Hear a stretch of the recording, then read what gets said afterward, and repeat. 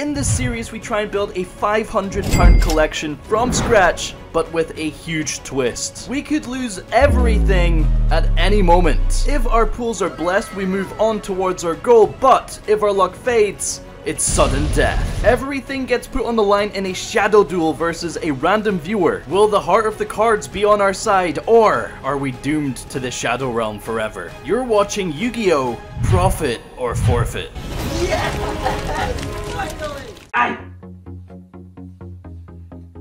Subscribe. Welcome back to the Children's Casino. A lot of people have been looking forward to this one, but honestly, I'm a little worried after reviewing the set that we're opening. Currently, we're rocking a massive luck streak and have somehow easily racked up a collection binder worth £196. Our best record right now is around the 350 mark, but at this rate, we are going to smash it with ease. As always, at any point, this could come crumbling all the way back down to zero with everything being given to you watching. That's right, Gavin, if you like the video and drop a comment below, all of this could be yours. You know, now that I think about it, that might actually be why a lot of people were looking forward to this one. Huh. I know for a fact you lot are waiting around for the forfeit like a bunch of vampires waiting to sink your fangs into the collection. So just for you, this episode is sponsored by Bloodline Heroes of Lithas. Bloodline is a hero collector fantasy RPG that's all about making babies and kicking ass. Build up your kingdom and protect it with your champions while managing your waifus and bloodlines to come up with all sorts of new monstrosities. I'm sure you've always wondered what would happen if you mixed an elf with a dwarf, right? What about an angel and a vampire? That would get rid of the weaknesses of the vampire and the whole sun thing, right? Or would it pass down the weakness of the sun and then not be able to do any angel things? Uh, either way, luckily for you, this Halloween, the Accursed Vampire Clan joins the game, giving you access to a whole new type of assassin and all the combinations that come with it. This Halloween event starts on October 27th, and you'll be able to grab the new Accursed Champion for free on the 7th day of the event. So download the game now and get experimenting by clicking the link in the description or scanning the QR code on screen, which will get you a juicy $20 starter pack for free, including 10 energy potions, 100k gold, and 100 diamonds. What if you mixed a god with a man? Is that just Hercules? Thanks again to Bloodline Heroes of Lithas for sponsoring this episode. Now let's go spend some dosh. Here comes the money. Here we go. Money talk. So the set we're opening today is the most recent Darkwing Blast. Leading up to the release, there was so much hype surrounding the set with its OCG success and the potential for it to be Power of the Elements 2.0.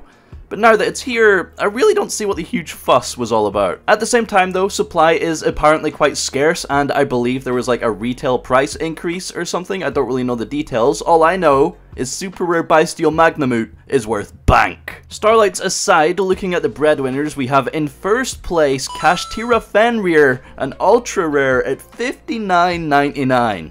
I sold mine at like 41 pounds, so fuck me, I guess, right? Next up, we have the Bystial Lubellion Secret Rare at 54.95, and then in third place, we drop all the way down in 19.99, and that is Blazing Cartesia, which I believe is then followed by the Super Rare Bystial Magnamhut. So having like a 15 pound super makes every pack exciting, so I'm interested to see where this goes. Dark Wing Blast, are we gonna profit, or are we gonna forfeit? Let's find out.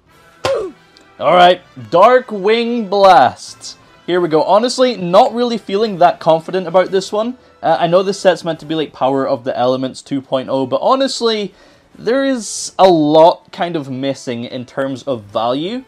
Uh, I mean, I don't know all the values off by heart, but I'm pretty sure Lubellion's the only money secret rare.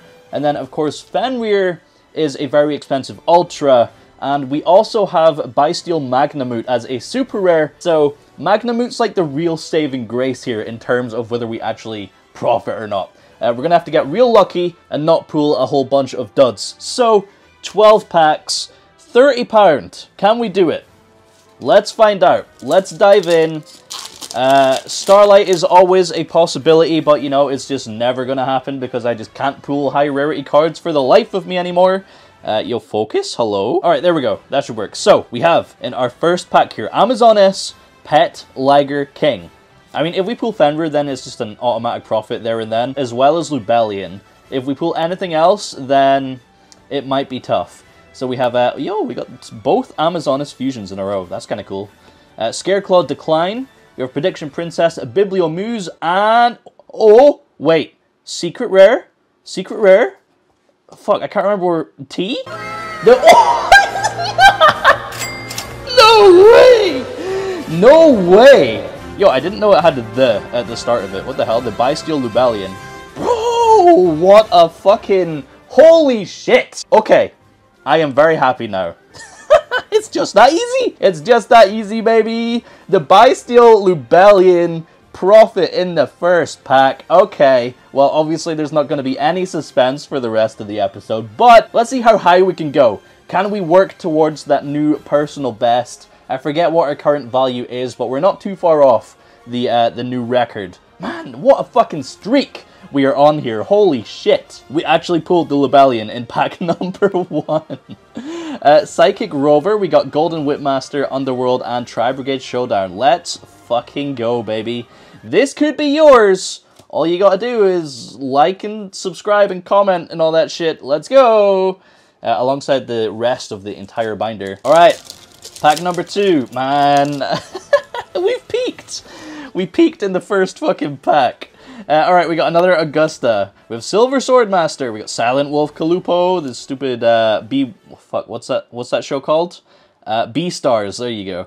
Tilton Entertainment. We got the trains. Terrors in the Hidden City. Super rare. Okay, very cool. We got Tearlament Scream. Tri Brigade Showdown. Actually, quite a few good commons in this set. To be fair. As an example, we also have Amazoness Silver Swordmaster once again. Han, Shi, Kudo Spirit. We got Tobari the Sky Ninja a lot of, uh, man, all these ninja cards look really, like, odd. Ninjutsu Art of Dancing Leaves, and we have Branded Regained, super rare. Continuing the lore. Very nice. Very nice. You know, I forget the Bystials are actually Albaz related, but, uh, yeah. it's got Lubellion in the name. What am I, stupid? Psychic Rover. We got the Great Noodles, Heartbeat, and Exceep Omen. Let's go. Okay, pack number three. No, this is pack number four. Jesus, we're hammering through this. All right.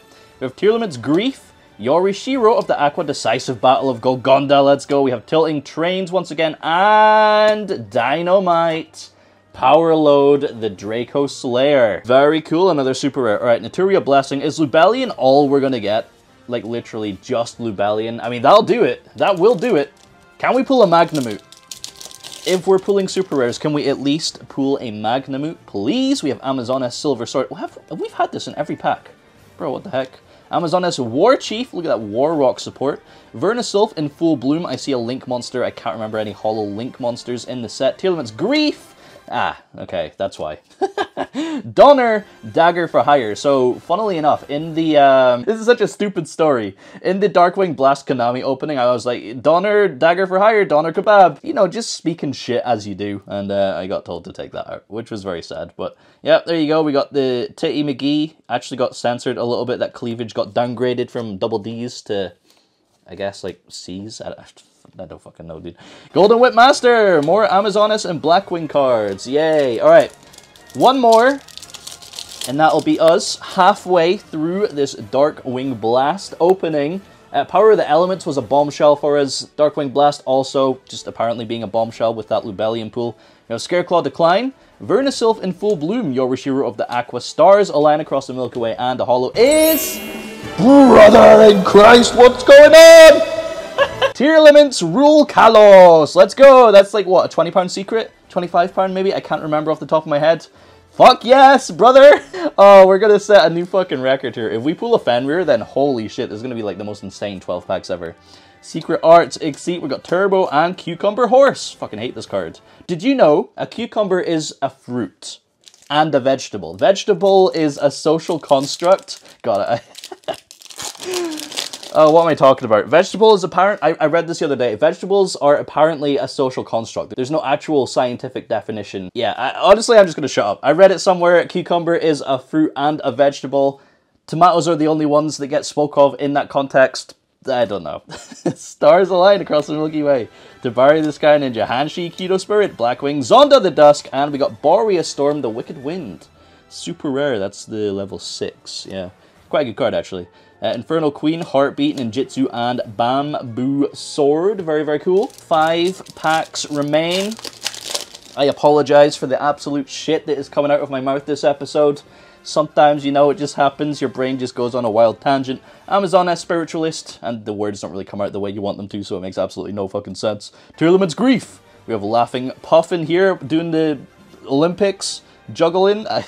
you see what I mean? Amazoness War Chief. Oh, no. We got two Dynamite Power Load the Draco Slayer. How unfortunate. Uh, Tri Brigade Showdown, Naturia Blessing, Twin Saw, and Invocation. Four packs left. Can we pull a, a Fenrir? We haven't even pulled an Ultra Rare yet. Are we even going to pull an Ultra Rare? At Ninjutsu Art of Dancing Leaves, we have Amazoness Pet Liger King, Amazoness Spiritualist, Stars Align, and we have another super... ah, I seen it was a Bystial monster. Not quite the Magnamhut, unfortunately. A Saronir. I, I don't know if the other uh, Bystial Supers are worth anything. All I know is that Magnamhut is ridiculously priced. Tri Brigade Showdown, we've got Scream, Gold Whip, and Shadow Squall. Alright, final three packs. This is a guaranteed profit, but how high can we knock that value? We have War Rocks, Frecky, Freaky, the Runick Fangs, Sif, without his sword, Sag. Kagero the Cannon Ninja, we have Ninjutsu Art of Dancing Leaves, and Goatee Fury. We're just actually not going to pull a single Ultra. Goatee Cosmos, Psychic, Invocation, and Pendulum. Alright, second last pack of Darkwing Blasts where we're going to get Kashtira Ogre. Oh, we could actually pull a Kashtira Unicorn as well as the Fenrir. Unicorn's also like a tenor, I think. Uh, in full bloom. We have Silent Wolf Calupoh. Decisive Battle of Golgonda it is an effect monster. Ah, Blackwing Vata, the emblem of wandering. Not a single ultra rare. What's going on? Twin Shadow, Shadow Squall, Catalyzer, Curse of Aramatir. I mean, to be fair, we did pull two fucking secrets, which is insane. Alright, Final pack of Darkwing Blast. Let's go for it to the front here. A little bit of suspense. See if we can pull that Fenrir at the end here. Or a Magnamhut.